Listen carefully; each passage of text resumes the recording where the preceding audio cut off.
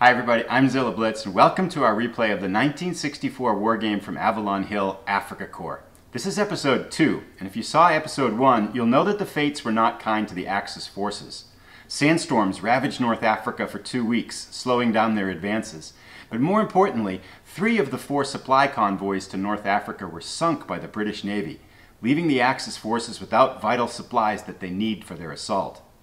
Lastly, Rommel made a tactical error in his assault on Tobruk that could have significant consequences in how the battle turns out. We'll take a look at that tactical error, then we're going to dig into the next two months of the campaign. Can the Axis forces take Tobruk, or will the British defenses hold? Time will tell.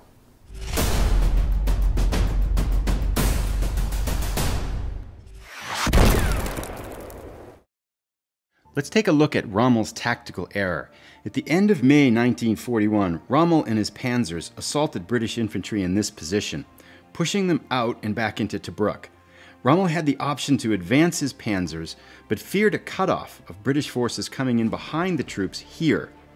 Because of that, Rommel held his position here instead of advancing to this hex. That was costly, however, because if the British forces had advanced to here, they would have been forced to attack the panzers, and they don't have the combat strength to do that. So by holding here, the British were able to retake these positions right here and hold these positions.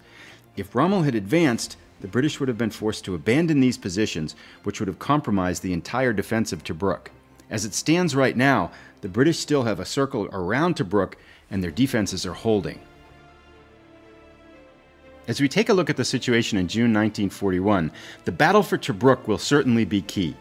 This is a key port in the campaign, and the Germans have reinforcements flooding into the area as well as British reinforcements arriving by sea. Can the Germans take Tobruk or will the British forces hold?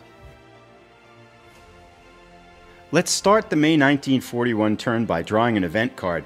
Now the last event card we drew was expedited shipping, which means that the Germans were able to take their supplies for this turn in the previous turn. They did, and that means they will not get any supplies this turn unless an event card dictates some kind of a change. The event cards have not been kind to the Axis forces. Let's see if their luck changes in this turn.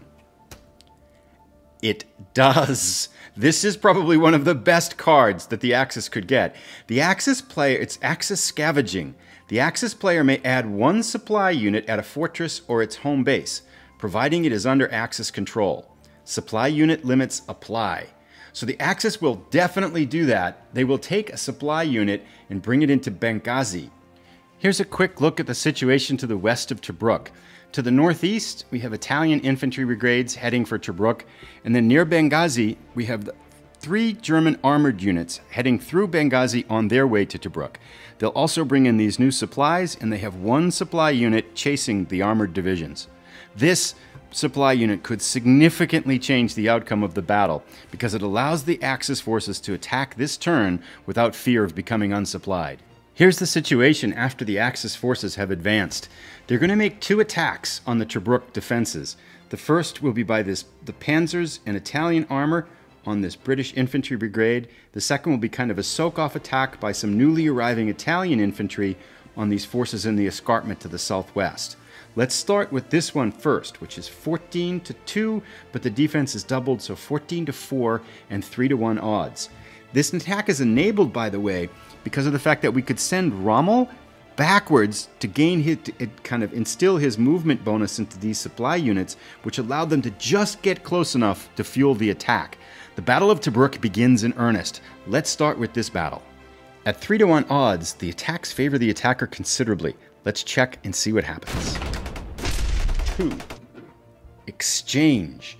So, that's, that's not a good result for the Axis forces. The British Infantry Brigade is eliminated. However, the Axis forces must also remove the equivalent amounts of defense points, which was 2 times 2 is 4 in attack points. The best way to do that is to unfortunately remove this relatively strong Italian armored unit, leaving these two units surviving and this base cleared. In an exchange, the Axis forces may advance, so let's push forward with this armored unit. Actually, we're going to switch that. Let's push the strong panzers forward. Rommel made the mistake last time of being a little bit defensive. The Axis forces have reached the outskirts of Tobruk. Now let's try our soak-off attack here, which is this Italian infantry brigade against these British forces in the escarpment here. It is 2 against 6 for 1 to 3 odds. At 1 to 3 odds, it's 2 out of 3 chance that the attackers will be pushed back and a 1 out of 3 chance that they'll be eliminated. Oh, once again, the die roll gods favor the Allies. The Axis force is eliminated. The Italian infantry division is wiped out.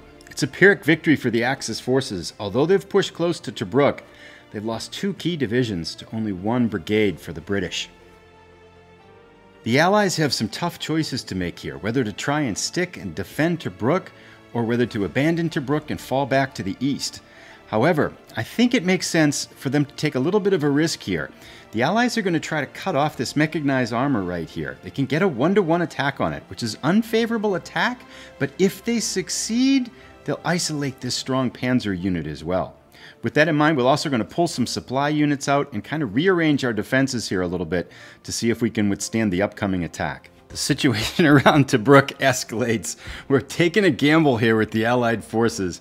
We're going to retreat two supply units out to sea. The game has sea movement from a fortress in your from Tobruk in your home base. So these units will go off here and they can either come back at Tobruk next turn or they can land at our home base at the Allies' home base in Alexandria. Taking a huge risk here, we've moved up an armored brigade and an infantry brigade, a total of six attack factors to try to hit this mechanized infantry here. It's a 50% chance that the attack will go badly, but a 50% chance it'll force this unit out or destroy it, which would open up the unit, open up the, uh, the British to be able to take this hex and cut off this 7th armor. To do so, though, we have to do a soak-off attack of five, uh, this newly arrived armored unit mechanized unit, and two infantry brigades on the armor here at 1 to 3 odds, which is a 1 to 3 chance of getting eliminated. Boy, as I talk through this, I'm not feeling that good about it, but the die cast, the die has been rolled. Let's start with the better attack first, because that's necessary. The supply can go one, two, three, four, back to one of two supply units left in Tobruk. It's going to be six against six, one against one. Rough, tricky odd. The Germans have had awful luck with the die roll gods. Let's see how the British attack fares. Three.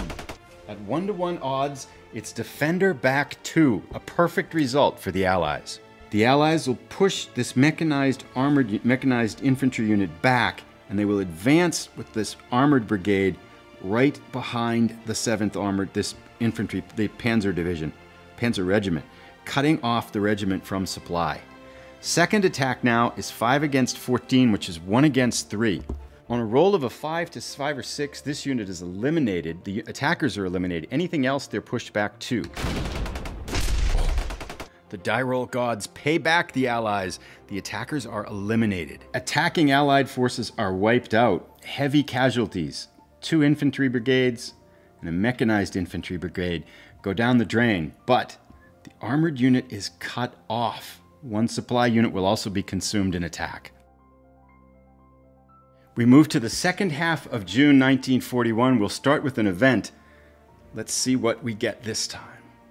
All is calm, no special effects this turn. The Axis can roll for supply again. They're still needing a 4 5 or a 3 4 5 or 6 for successful arrival. 3. The Axis will get supplies arriving at their Tripoli base. In Tobruk, the assault is in dire straits. With this panzer regiment isolated, the Germans simply must try to save it. We're going to try to attack this weak spot here with our strongest, with the Axis strongest forces, and then have the Axis do a soak-off attack here against this British armor. It's going to be tricky. Hopefully they can pull it out. Here's what the Axis will do. They've got an Italian infantry division, mechanized armor brigade, and then the newly arrived panzer unit, for an attack force of 12 against this defense of 4, so 3 to 1 odds. They'll send the mechanized infantry at 3 against 8, 1 against 3 over here. This unit, which is out of supply, can't participate in the attacks. This will consume the last supply unit in the area, although they have one more arriving from the west. The Axis will do the 3 to 1 attack first. 3. Defender back 2. That's a positive result for the Axis forces. They can move this infantry brigade up here, get it out of the escarpment for right now, push forward with the mechanized infantry and the armor to surround this unit now. It's kind of like a game of Othello. Let's resolve this next attack. These odds at 1 against 3, on a 5 or a 6, the attackers are eliminated.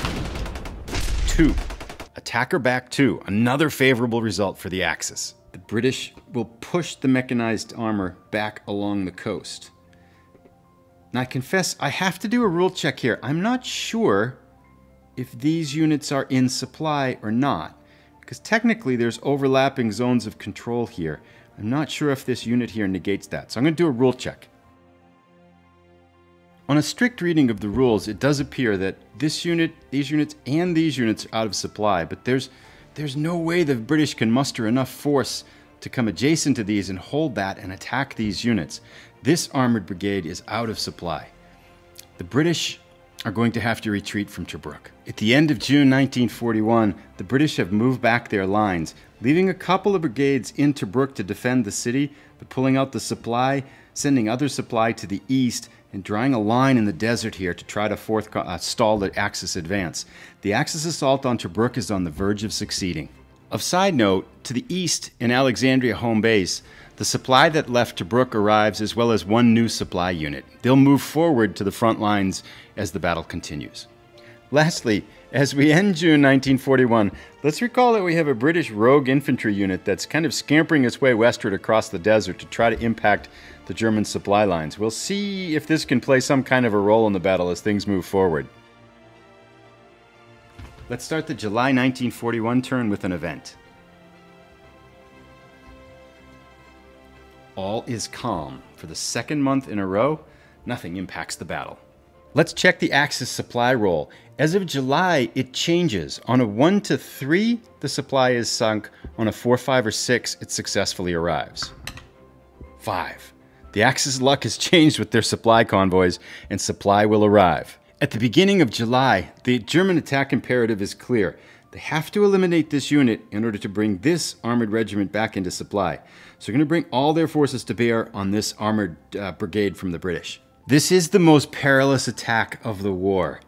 All the Axis can mount against this 8 defense armored brigade with 4 times 2 is 16 attack forces.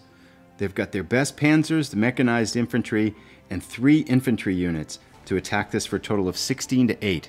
At 2 to 1, there's a 1 in 6 chance the attacker would be eliminated, wiping out the majority of the Axis forces. I think they have to take the risk though, because if they lose this Panzer unit now, I doubt there's any hope for the campaign. A die roll of six would be devastating for the Axis here. At two to one's odd, that would eliminate them all. Anything else, and they're okay. Oh, out of bounds. We'll roll again. Two. Exchange. An exchange is actually pretty crippling for the offensive forces. Could, I think we're going to leave this armored unit because it's one of the strongest ones that we have. That means everything else has to go for the Axis. Two, six, nine, and the British do lose that infant, that armored brigade. A devastating combat here, leaving the Axis forces around Tobruk severely depleted. More British reinforcements arrived this month, with eight relatively low strength units coming into the battle.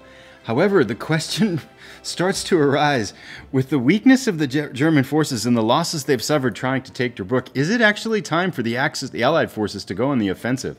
We'll take a look and see whether they want to hold the line in the sand still, or whether they want to start pushing forward and perhaps trying to pick off this mechanized armored unit out in the desert here. The Allies decide to go for it. They can manage to get a 3 to 1 attack on this mechanized armor out here, mechanized infantry out here on the edge, and still maintain a pretty strong force. I don't think the Axis have enough forces left really to do much of a surround and in kind of a, a, a kind of opportunity. They've, they've suffered some heavy losses. I think it's time to see if the British can push forward. With this, we'll resolve this attack at 3 to 1. Battle launches at 3 to 1 odds. 6 Defender eliminate. The mechanized infantry unit is eliminated. More Axis losses. The supply unit is consumed. Let's move forward with this infantry, uh, infantry regiment as well as this armored regiment to force the British hand here. They'll have to decide to respond with this recon. The Tobruk, the assault on Tobruk may be faltering. It's worth noting that our desert wanderers are approaching the desert road. They should come close to it in two turns here. That will force an Axis response of at least some kind in order to be able to protect their supply routes coming up the road here. We'll begin our July, the back half of July 1941 turn with an event. Extreme heat. All units suffer minus two movement points this turn. Road and Rommel bonuses may be used normally.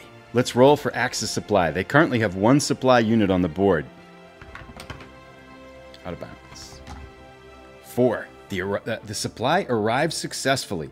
Another good stroke of luck for the Axis forces an overall picture of the situation around Tobruk, things are pretty dire for the Axis forces. I think taking off those multiple small units instead of that strong seventh, uh, the seven-point armored regiment here was a mistake because they don't have enough forces to maintain any sort of front, especially with the sheer number of British forces. I think it's going to be pretty easy for the Allies to encircle these troops. As much as I hate to say it, and as ahistorical as this is, the Axis are going to have to retreat. By the end of July 1941, Tobruk has been abandoned by the Axis forces. At the moment, the Axis are in full retreat, arriving at the fortress of Benghazi. The question remains as to where to draw a line in the sand. Their next reinforcements don't come until November, so they're going to have to hold for about six turns while they wait for those reinforcements to come in and perhaps change the scope of the battle. For the Allied forces, it's time to go on the offensive. A wide shot of the battle shows the Allied forces in hot pursuit of the fleeing German army. As a side note, we've left this pesky Allied infantry brigade just within reach of the road because it can advance on Tripoli to the southwest here. And if it were to take a lucky attack, it could capture that base and knock that supply out. That should force the Axis response and prevent them from digging up and digging a hole in Benghazi. They're probably going to have to withdraw here. So, as we end this episode, the Axis assault and the Axis campaign in North Africa is in tatters. The Allies have them on the retreat. That brings us to the end of episode two in our replay of Afrika Korps. I have to feel like, as Rommel, I have ultimately failed here. I mean, it's only Four months into their campaign and their North African campaign is in full retreat. Let me know what you think of the episode. What should we have done differently? What tactics should we have used to keep that assault going? And uh, if you've enjoyed the episode, please give it a like. If you're new, please consider uh, subscribing. We'll see you in our next episode, hoping to do one of these every four days or so until the end of the campaign, which may come a lot shorter than I expected, given how badly we've done with the Axis forces. Take care, everybody.